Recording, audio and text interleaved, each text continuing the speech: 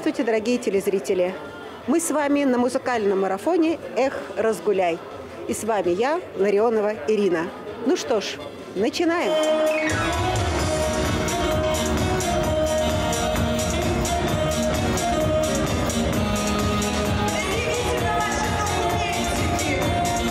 Мы встречаемся с нашими любимыми артистами. Смотрите до конца, будет интересно.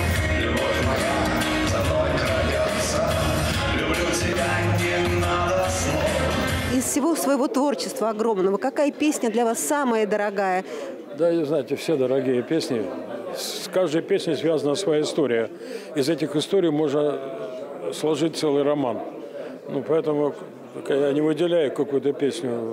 Одна лучше, другая хуже. Они для, для меня все равноценные, понимаете? Потому что я потратил массу своих сил, здоровья, ну, как бы сказать, аранжировок там и всего этого. Это, это очень сложный процесс. Не знаю, это было, во всяком случае, раньше, когда была аналоговая музыка. Сейчас все сдвинулось в сторону цифры, и поэтому все, кнопочку нажал, уже там кто-то... Можно вот заставить вас, можно из вас сделать великолепную певицу. Вы знаете, да? Да, знаю. О. Не только певицу. Скажите, пожалуйста, а что бы вы посоветовали молодежи? Ну, пять лучших э, песен, на которых можно было воспитать? Я ничего не могу советовать молодежи. У молодежи свои законы, своя жизнь. Что я могу посоветовать им? Взрослому человеку я мог посоветовать, а молодежи, они сами разберутся, что им лучше, что им хорошо. У меня бабушка пела, у меня дедушка пел шансон. И вообще, э, на самом деле, одна из моих первых песен «Ты-ты-ты». Ты-ты-ты, ты-ты-ты. Это, это, это типичный шансон. Просто тогда называлась это эстрадная песня. Но потом это как-то уже переквалифицировалось в попсу или что-то. Но на самом деле мои все первые баллады Ах, если бы жить можно было вечно жить, повторяя ну, Я люблю днем и ночью Это шанс... А мама тихо говорила мне Мама тихо говорил Это же это шансон. Ну я уж не говорю песню Я поднимаю свой бокал Что выпить за твое здоровье Это все шансон Просто я так сумел перевоплотить этот жанр немножко в другой в своем творчестве, что сегодня это эстрадная песня и классика моя, мой золотой фонд. Но это шансон, который я всегда обожал. А как вы думаете? А кассеты с песней Михаила Шуфинского у меня всегда были в машине, и их всегда очень любили мои родители. Ну, папа дружил с, э, и дружит с Михаилом Захаровичем, но я вот горжусь, что у нас получилась эта работа, и сегодня мы ее здесь представили зрителям. На, на разгуляем, у меня настроение вот такое. Я кайфанул сегодня. Мне надо что-то, альбомчик записать под другим именем, выпустить его. Записать его так, может, даже не узнаваем каким-то голосом, выпустить каким-то псевдонимом. Вот интересно, получится, узнают или не узнают. Ваш отец был участником Великой Отечественной войны. Скажите, как отец повлиял на ваше творчество? Отец пел таганку, когда я пятилетним ребенком засыпал. А у него собирались студенты, его соученики, после войны. Они учились в медицинском. Они собирались у нас. Мы жили в Салтыковке под Москвой.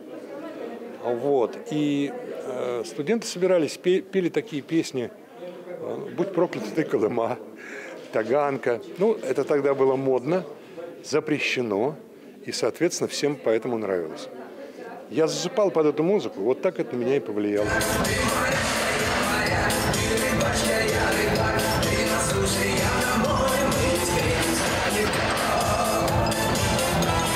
Вот за 55 лет вашего творческого пути, как изменился зритель? Мой зритель повзрослел со мной вместе и до сих пор ходит на концерты, на концерты. А, ну, это как бы мои традиционные зрители, да, и те, кто помоложе тоже, но последние 2-3 года резко помолодела моя аудитория. Я не знаю, с чем это связано. Даже вот те песни, которые сочинил 7-10 лет назад, они вдруг стали очень популярными, может быть, в связи с пандемией, с СВО. То есть какая-то вот парадигма страны вот это вот меняется. И люди начинают искать те песни, которые, у которых есть смысл, есть мелодия, есть какой-то драйв. И мне это очень нравится, конечно. Вот, и недаром вот последние три года, фактически, два года я был на первом месте по данным ВЦОВ. Вот в, в этом году меня потеснил шаман, чему я очень рад, прям молодец вообще, так держать. Молодые, наконец, появляются. Вот. И, конечно, изменилось отношение к музыке, к стихам, к песням. Но, к сожалению, на радиостанциях, да, это не очень заметно. Поэтому я обращаюсь к редакторам музыкальных станций. Ребят, давайте помогать нашим воинам. Надо писать для них песни и показывать. В моем проекте «Родники» 20 тысяч произведений пришло. И мы отобрали всего 26 финалистов. И вот мы недавно были, могу похвастаться даже, вот буквально несколько дней назад а, мы выступали на форуме «Россия» на ВДНХ. И в прямом эфире, это, было не, это не концерт даже был, это была пресс-конференция, где я отвечал на вопросы 30 минут. И потом вышли один за другим, как в караоке, да, спели наши никому неизвестные артисты, никому неизвестные песни. И нас в режиме онлайн, посмотрите, вот дамы, это есть в сети, смотрели одновременно 4 миллиона 300 тысяч человек. Ну, это же понятно, что это нужно стране. Поэтому вот я обращаюсь ко всем средствам массовой информации, ко всем музыкальным каналам. Вот что нужно, это народ выбирает. Вот такая у меня сейчас история. Скажите, это первая песня ваша с вашей мамой? Нет, это уже вторая наша, второй наш дуэт. Э, у нас до этого была песня, то есть мы ее исполняем «Положи на стол ключи». Вот, и а почему именно эту песню? Э, что послужило основой для сюжета песни, которую пели сегодня? Как ее зрители восприняли? Какие у вас были ну, ощущения это зала? Зал почувствовал? Да, однозначно зал почувствовал. Зал всегда чувствует эту песню очень э, сильно. Ну, это заметно, что это задевает. Э, здрасте. Здрасте. Я обожаю вас, мои девочки. Да. Ну, зал всегда чувствует эту песню, потому что она очень личностная. Это написала э, текст этой, для этой песни. Был написан маминой близкой подругой Марией Захаровой. Это наш российский дипломат. Э, а, но она пишет стихи. И они у нее рождаются непроизвольно. И она очень прониклась нашей историей э, нашим, ну, очень сопереживала, когда у нас были такие сложные моменты. И на фоне нашего примирения у нее родилась такая песня о, силе, о силе э, молитвы, о силе любви. Скоро будет релиз э, с Наваи. И э, скоро я начну работать с Домиником Джокером. Потрясающая песня новая тоже, я думаю, она войдет тоже э, в хит-парад, в, первые места будет заниматься, занимать, даже не сомневаюсь. Ну и с Наваи я тоже думаю, что будет первые места, а по-другому по никак. На что обращаете внимание, вот когда к вам выступают предложения с дуэтами? Что прежде всего? Ну, во-первых, я обращаю внимание в первую очередь на песню. Это должна быть песня, которая понравится мне, которая... Она может мне понравиться, но я не чувствую себя в этой песне. Но я и до сих пор всегда сомневаюсь. Но вот когда я начинаю работать, нравится одно, но ты в этой песне как-то вписываешься в нее или нет. Это второе. Но до, до этого все у меня получалось, и надеюсь, и получится. И самое главное, что у меня еще и с потрясающе получаются дуэты, поэтому я хочу еще с ней поработать, несколько дуэтиков спеть. Потом она может меня будет в концерты приглашать как гостя. Самое главное, что хорошие организаторы, очень профессионально подходят к этому. Подбор артистов, мне кажется, получше стал, да? Песни как-то более э, к аранжировкам серьезнее относятся. Конечно, растет, растет, и я надеюсь, что это радио шансон никто не сможет переплюнуть или убить.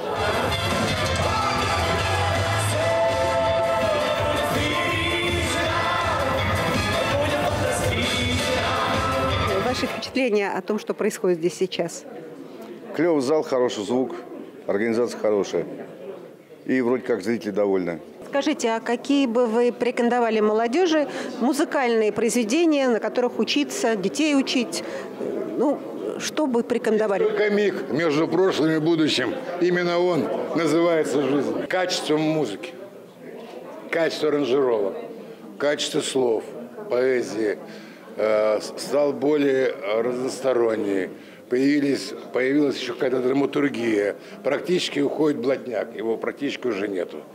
То есть он становится, э, на себя берет функцию э, души нашего российского человека. Скажите, пожалуйста, на каких песнях должна воспитываться молодежь? Которую мы пели сегодня. Да. Очень хорошие Все песни, верно, со да. смыслом, с музыкой, с текстом, я, я считаю, с нормальным, достойным исполнением.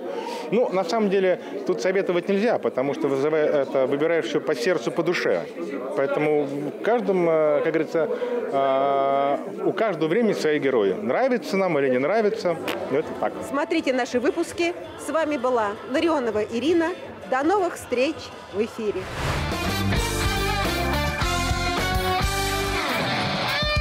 Всем привет! Это рубрика «Все о кино» и с вами Витя Беганский. В наших выпусках мы обсуждаем новости из мира кино и жизнь наших любимых артистов. Как прошла свадьба звезды кино Александра Петрова? Какую награду получил Милош Бикович? Лучшие фильмы юбиляра Владимира Машкова. Зачем приехала в Россию звезда фильма «Украшение строптивого» Арнелла Мути? Топ-5 лучших фильмов. А эта новость будет интересна всем любителям кино. Звезда кино Александр Петров, известный больше по фильмам «Текст», Т-34, «Лед» и по многим другим, женился. Торжество состоялось в банкетном зале в Подмосковье Лапинью Холл. Молодожены потратили на празднование от 15 до 25 миллионов рублей. При этом на празднике присутствовало 250 гостей, в числе которых был сам Филипп Киркоров. Церемония проходила в атмосфере библиотеки. Повсюду были книжные шкафы и множество книг. В один момент такая стена раздвинулась, и оттуда появился Саша Петров со своей женой, окутанные в объятиях театрального дыма. Актеры и его избранница медленно прошлись по дорожке под чувственное музыкальное сопровождение. Затем они встали напротив друг друга. На спине пиджака Петрова оказалась надпись «Саша плюс Вика». После Саша снял пиджак, а затем и рубашку, оголив грудь, на которой была переводная татуировка Вика Петрова. Он пообещал сделать абсолютно такую же, только настоящую. Также среди звездных гостей были замечены Игорь Верник, Сергей Бурунов, Леонид Ермольник, режиссер Клим Шипенко. Этот фильм поразит вас игрой актеров. Милош Бикович запел – Недавно он выпустил свой первый сольный трек «Танцуешь со мной». И сразу же звезда фильма «Холоп» и «Вызов» получил престижную музыкальную премию «Золотой граммофон». В копилке Милоша нет ни хитов, ни маломальски известных песен. Поэтому награждение актера престижной премии просто-напросто может обесценить остальные статуэтки. А вот и самая горячая новость громкой дате 60-летию звезды Владимир Путин наградил Машкова Орденом Почета. А сейчас, дорогие зрители, я поведаю вам о его самых лучших и запоминающихся ролях. Лимита Дениса Евстигнеева, 1994 год. И фильм, и Машков буквально ворвались на киноэкраны страны в середине 90-х. История о простых лимитчиках, покоривших Москву, попала в нерв времени. Многие узнавали главных героев себя, молодых, наивных, чистолюбивых. А вот вторая его лучшая работа «Американская дочь», которая вышла в 1995 году. Здесь Машков играет музыканта Алексея, который приехал в США, чтобы разыскать родную дочь. Машков смог воплотить свою роль многие образы и эмоции отцов, которым, к сожалению, пришлось расстаться со своими детьми. Третья его работа – фильм «Вор» Павла Чухрая. Фильм вышел в 1997 году и успел захватить как русские фестивали, так и международные премии. Он построен на воспоминаниях маленького мальчика, которому некий Толян смог заменить реального отца. Пять призов за лучшую мужскую роль получил Машков за эту картину. Четвертая работа, над которой занимался сам Владимир Машков, фильм «Папа», который вышел в 2004 году. Пронзительная история об отце и его сыне, о том, как сын стеснялся отца, когда стал выбиваться в люди, и как война расставила нравственные приоритеты. Ну и пятое, самая знаковая его работа, которая была снята в космосе в 2023 году. Фильм «Вызов». В фильме Клима Шипенко он сыграл роль Константина Волина, руководителя полетов. А вот и интересный факт. На самом пике своей карьеры Машков махнул в Голливуд.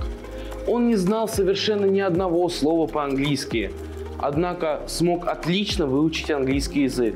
Помимо этого, он смог сняться в легендарных американских фильмах с Томом Крузом и Робертом Де Ниро. Фильм, который ждут все. Звезда фильма «Укращение строптивого» Арнелла Мути приехала в Москву с новым проектом. Сейчас я тут по работе, но приезжала и по любви, ради развлечения, улыбнулась Мути. Сейчас звезда приехала в Москву для работы над новой постановкой «Героическая жизнь гения». Это по-настоящему интереснейшая постановка посвящена музыканту Людвигу Бетховену и его гениальному творчеству. В этом спектакле меня особенно впечатлили страдания. Как известно, Бетховен писал музыку с самого детства, но глухота прогрессировала и повлияла на всю его жизнь. Похожие переживания я видела в других людях. И себя я в этом узнаю, резюмировала артистка. А сейчас топ-5 фильмов по мнению звезд. Внимание на экран. Один плюс один у меня стоит вообще прям на первом месте. А, потом идет фильм «Время». Смотрите отечественных, а, отечественные сериалы. Сейчас реально много крутых, классных а, работ, которые делают, воспроизводят да, для нас, для зрителей. И поэтому не, не забывайте про отечественных производителей контента. Ну что ж, надеюсь, вам понравился этот выпуск. Смотрите YouTube канал, подписывайтесь, ставьте лайки, пишите комментарии. А с вами был я, Витя. До новых встреч!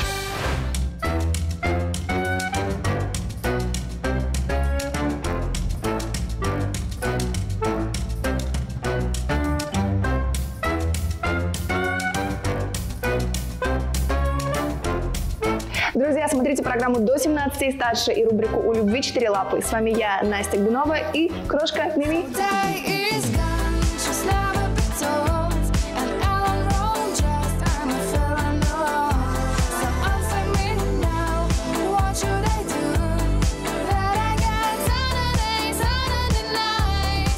С детства мечтала о собаке, всегда хотела именно маленькую породу, потому что квартира была маленькая, и э, доберман туда, к сожалению, не помещался.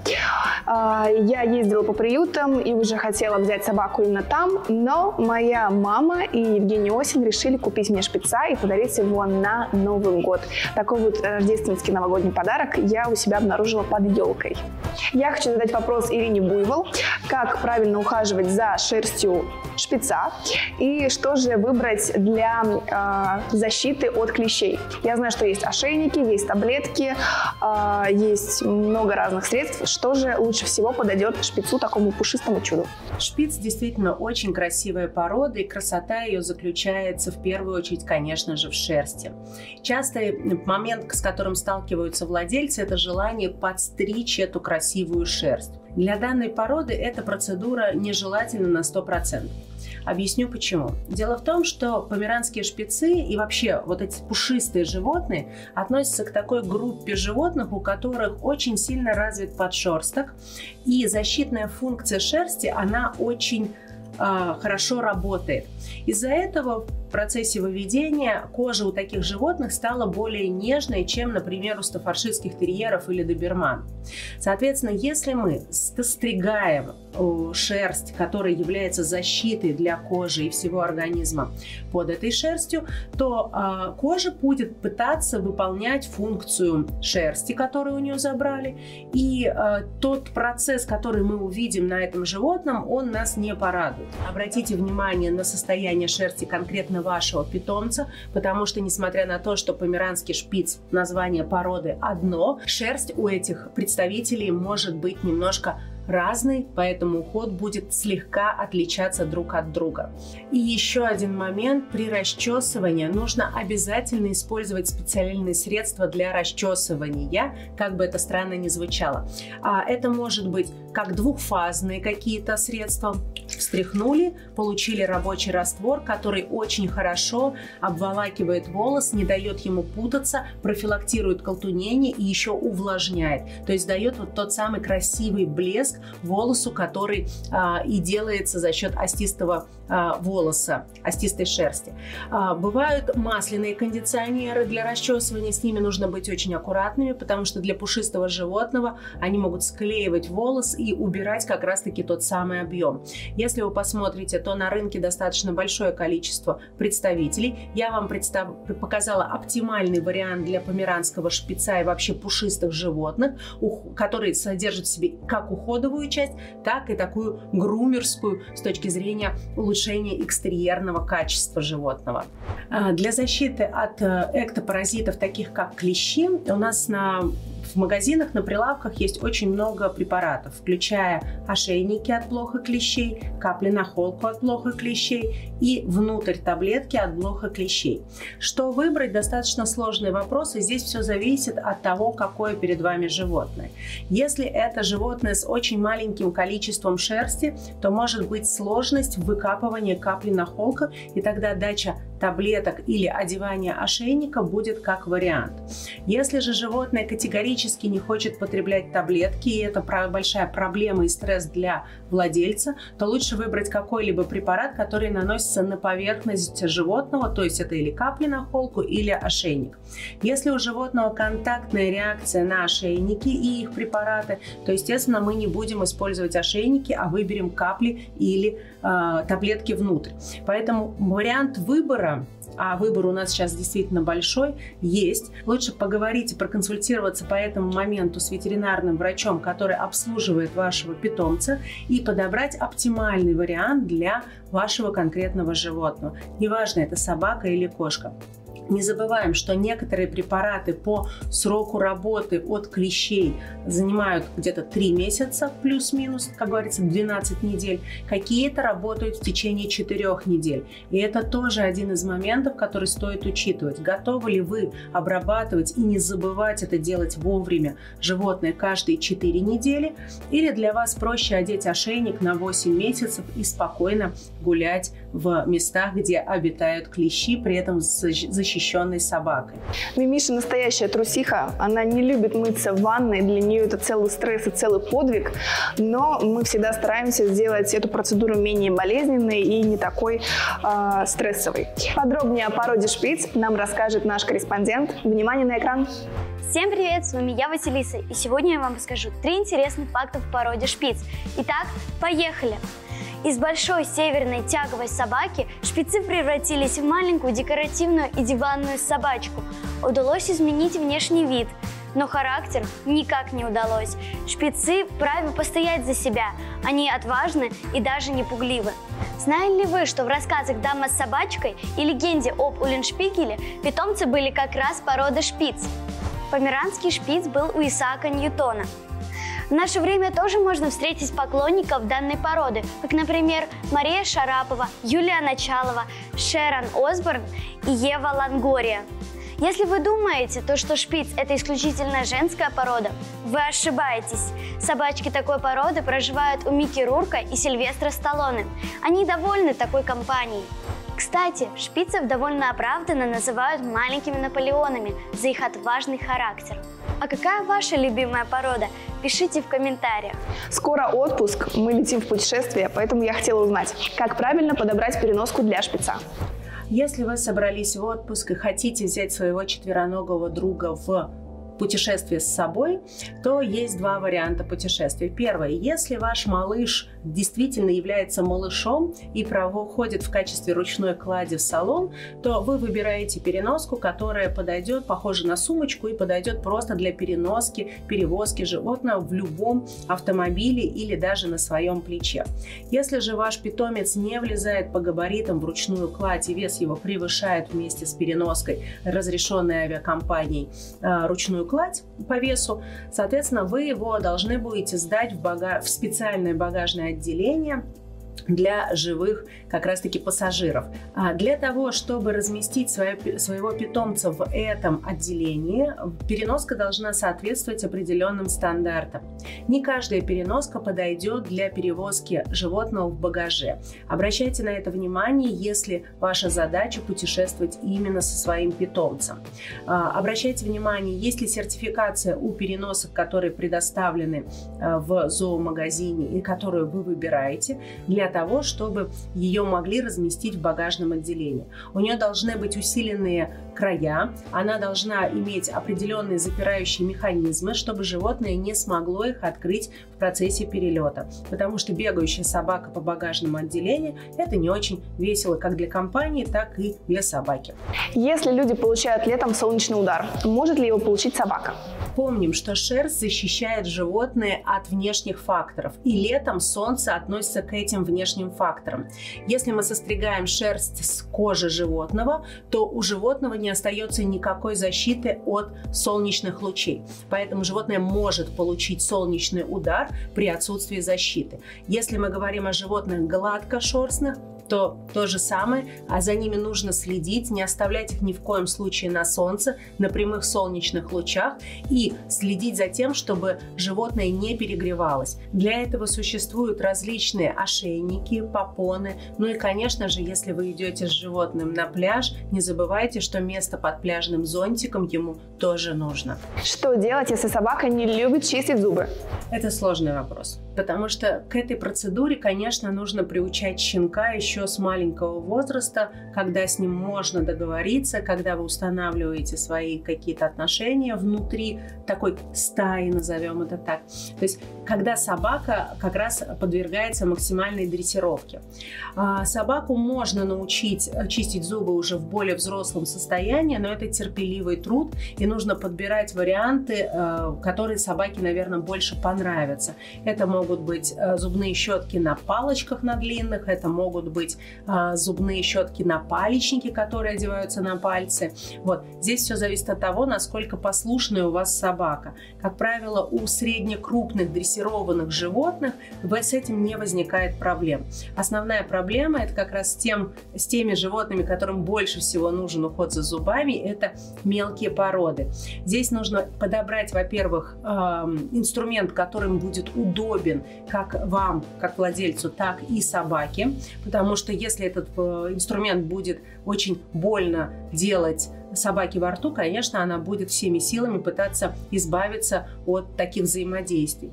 Второй момент – это подбирать э, препараты, которые могут быть использованы без дополнительной чистки. Например, зубные пасты с энзимами, которые главное нанести на поверхность зубов, дальше они работают самостоятельно.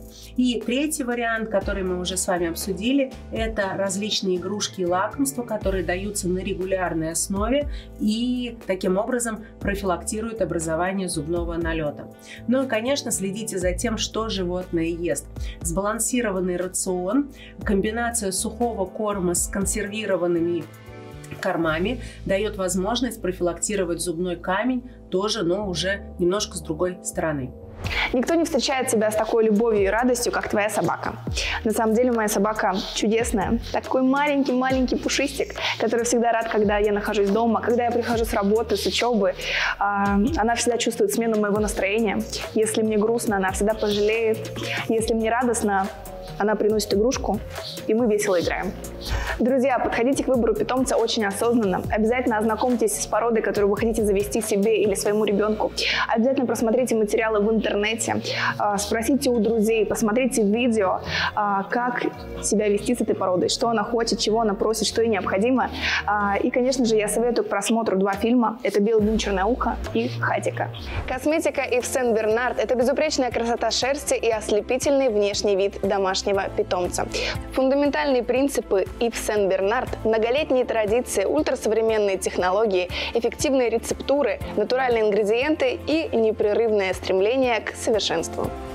Мнямс – корма и лакомства для кошек и собак, созданы для питомцев, делают счастливыми всех. Мистер Кранч – российский бренд премиальных товаров для животных. Основным приоритетом бренда Мистер Кранч является забота не только о физическом, но и о эмоциональном и интеллектуальном развитии питомца. Все материалы являются гипоаллергенными и абсолютно безопасны для питомцев. Друзья, смотрите программу «До 17 и старше» и рубрику «У любви четыре лапы». С вами я, Настя Гдунова и крошка Мими. Увидимся! А в